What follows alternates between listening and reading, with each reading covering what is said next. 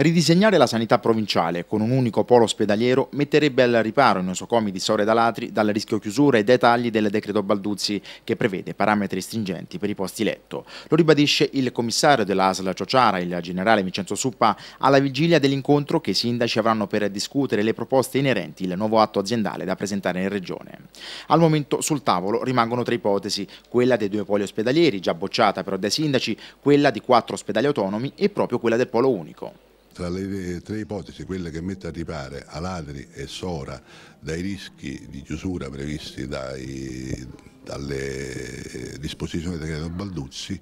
è il polo unico,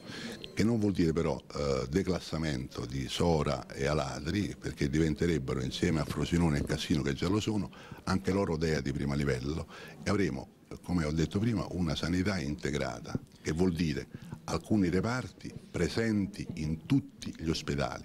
altri invece laddove sono presenti forti specializzazioni. Questo avrebbe consentito, consentirebbe di spostare i posti letti che per incapienza della struttura non vengono utilizzati a Frosinone, che ha una struttura eh, inidonea a coprire tutti i posti letti previsti dal decreto 80, spostandoli principalmente ad Alatri, che passerebbe dagli attuali 100 a circa 180,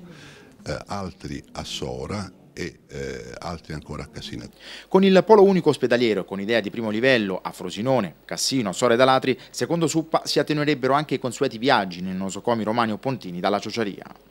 Puntando sull'alta eh, specializzazione, creando dei dei reparti di eccellenza nell'ambito della struttura eh, provinciale di Frosinone, questa mobilità eh, passiva, così viene definita in gergo tecnico, verrebbe sicuramente fortemente attenuata. Ascoltate dunque le indicazioni dei sindaci, si metterà mano alla bozza che ridisegna la sanità provinciale da inviare poi alla Regione Lazio. La nuova bozza di atto aziendale sarà approntata eh, a partire da venerdì dopo che i sindaci dato, la comprendenza ci avrà dato indicazioni. Se eh, partiranno per il, i due poli sarà